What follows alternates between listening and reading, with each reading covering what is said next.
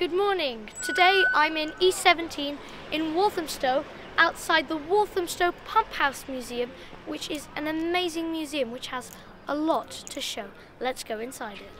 But before we get to any other parts of the museum, first up are the two 1967 tube stock carriages, one of which is refurbished and the other non refurbished, which can be found as soon as you enter the museum. Alright, so I'm inside the old 1967 tube stock carriage which would be used on the Victoria line and this one is refurbished and as it's here in this museum there's quite a lot to it. This tube stock of course had a different moquette pattern than the one seen on the 2009 tube stock as well as a different seating layout.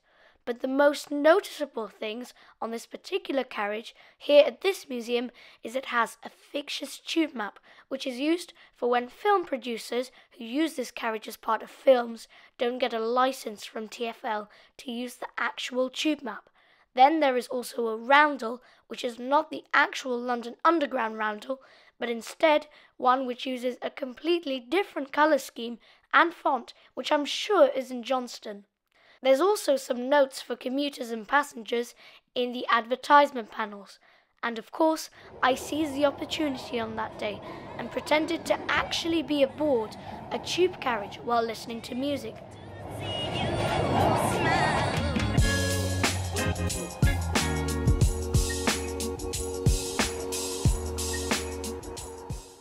The next part of the Pump House Museum is, of course, the original pumping station, which gives the museum its name and houses two Victorian steam pumps which were used for Walthamstow's sewage network for decades.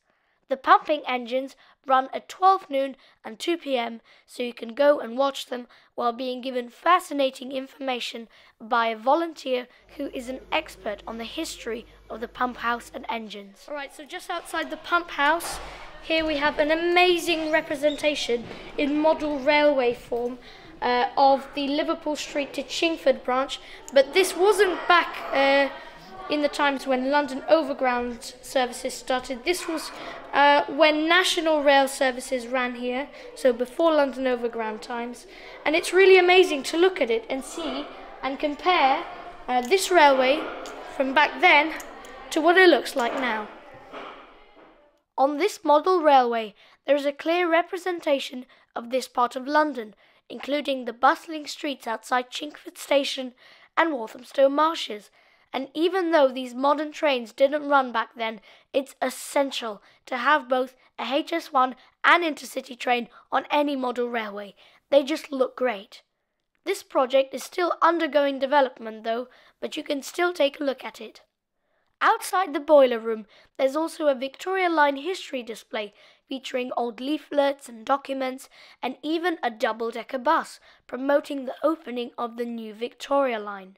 And of course, the last part of the museum is the fire station, in which you can see a vast collection of fire equipment and miniatures from as far as 1888.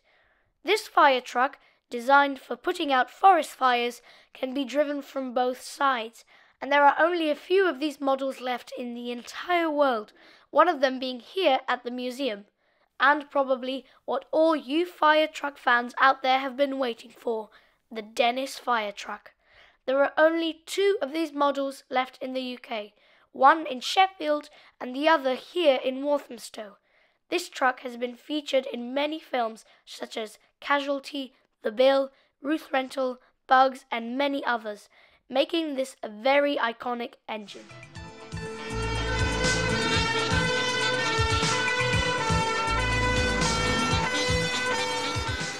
The wonderful volunteer there will give you an entire list of films in which this famous fire engines were featured.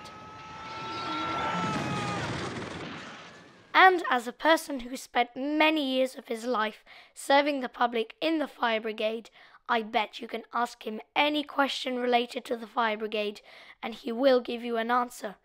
If you speak with him, you'll soon find out that there is a huge difference in how firemen carried out emergency rescues back then when he was working as a fireman and how emergency rescues are carried out now. And now, back to the tube carriages. Cab inside. Okay. Hi, Kevin. Hello. Uh, so, could you explain to us the controls here inside the cab? Sure. So, um, well, this is one of two cab types. You had the main cab and the secondary cab, which was in between different car units. And these would have been primarily used for emergencies by staff members of London Underground. And the controls in them are limited, but somewhat similar to a main cab. This side here is your lights and some of yeah lights and heaters primarily, and part of your braking system. On the other side, and the left-hand side opposite, were sort of the main controls in an emergency where you would have had a key to actually access all the controls. There's flip down seat You flip down with the driver's seat. Well, this is part of your driving control, and um, would have. This is what they call the dead man's handle, where if you get somebody actually driving and operating the train, there would be, of course, access to all of the sections, but without the key in place, you can't. And of course, it's called the dead man's handle because if you always have to keep your hand on it, and if the, for whatever reason, the driver's hand came off, there would have been a spring system where you can see it moves. It would have um, sprung up, and essentially the train would have come to a stop because that's sort of a safety feature to make sure that driver's concentrating if it was in manual operation. You have actually an emergency kit down here, which has a stair, or a pair of steps and Yeah. flags. So if so if the tube train got stuck in a tunnel, they'd get down probably. Pretty much, yeah. That would be part of your emergency kit. It would have been in any of these sort of cars, and um, this would have been part of the um, emergency system for the tracks. Actually, Going inside through the carriage. Kevin's got a key. What's this key? for? well, this is only an adjustable spanner, but it's to access the special square taper that driver would use to get in. Thank you. Yeah, but in this train, is it true that you can uh, control the doors so you can make them open and close? It automatically? true, yeah. You look on both sides, you've got your doors open and closed. Anti-clockwise On. now, you press two buttons.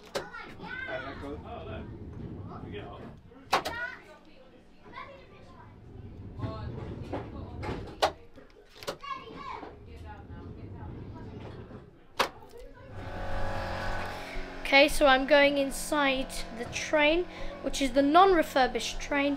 Here we have some major differences. The old seat moquette pattern, strap hangers, which you can't see anywhere on the underground anymore.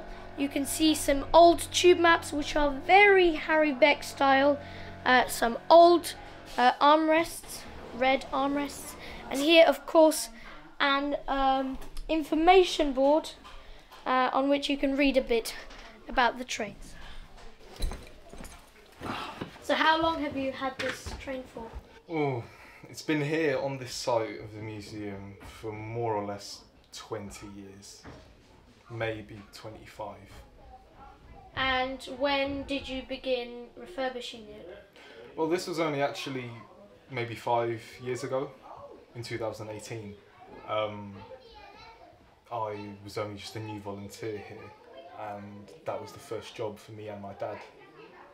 Because they had just moved this because we had lost a portion of our site for redevelopment, and this had been moved here, and they were after people to restore it. So we were sort of freshly recruited, if you want to put it that way, and put to work here. Okay, and what happened to this train that made it so damaged? Well, in its lifetime, well, of course, this is the 16th one ever made, number 3016. During its lifetime, it uh, had a crash at a depot, I think, and it crashed into a set of buffers from the driver's end. This was maybe in the 1990s. It was just before the refurbishment of all of the fleet of 67 stock. As well, you can see with the other one, it's got blue interior, this has red. And what it was, they put it out of service. It was too damaged to be repaired. And they actually used it, the fire brigade used to use it as a practicing um, unit, like training for rescuing trapped people and all that sort of thing, somewhere in a depot, I think. And then the museum got it through some sort of means. and it sat on our site for a long, long while, not really doing much, just sort of sitting in a corner with the damaged front end until about the late 2017 when we had to reshuffle what we had and get rid of a lot of our fleet of buses and trains and whatnot on the other end of our site. when that was uh, removed for redevelopment. So your site was very much um, um, made much smaller because of that, which is quite sad because I would have loved to see uh, all those other vehicles. But how long did it take you to? Is it is this a work in progress? Are you still continuing fixing this, or is it pretty much all that you will be doing? Well, a lot of the cosmetic work is, I guess you can say, has been done, but what we're still looking for is window parts because, um, of course, the 67 foot there's not much left of it. There's only a few units of it, including these two, and we're just really after the interior window frames and parts, and then the interior will pretty much be complete, other than the floor, which is still a work in progress. Okay, and how do you feel it's it's looking right now? It looks wonderful compared to what it did when we first started. I'm sure. I'm sure. A lot of the paneling was missing. We we had a mountain of spare parts given to us by TFL and That- London that- Underground. That's that's very nice. It was, yeah, but they'd been sitting around for 20 years, so they were filthy, dirty, uh, oxidized, all sorts of stuff. So we had to clean a lot of it. And you enjoy volunteering here? Yeah, I do. I, it's given me actually a lot of engineering and hands-on work experience. And I'm sure it's very nice looking at this carriage every single day, knowing that you and your dad were the ones who fixed it. Well, yeah, it is. I mean, when I walk past it, I sort of just every now and again glance at it, and I think back to when I, when I was four or five years ago working on the thing. It was my first task. That must feel nice. That's, Thanks for speaking with me. you're very welcome. And there we have it. This is the Walthamstow Pump House Museum, which has a lot to show uh, and to offer when you come here. Do come here. You'll have a great day. Please press subscribe and like, and I hope that you enjoyed this video. Bye bye.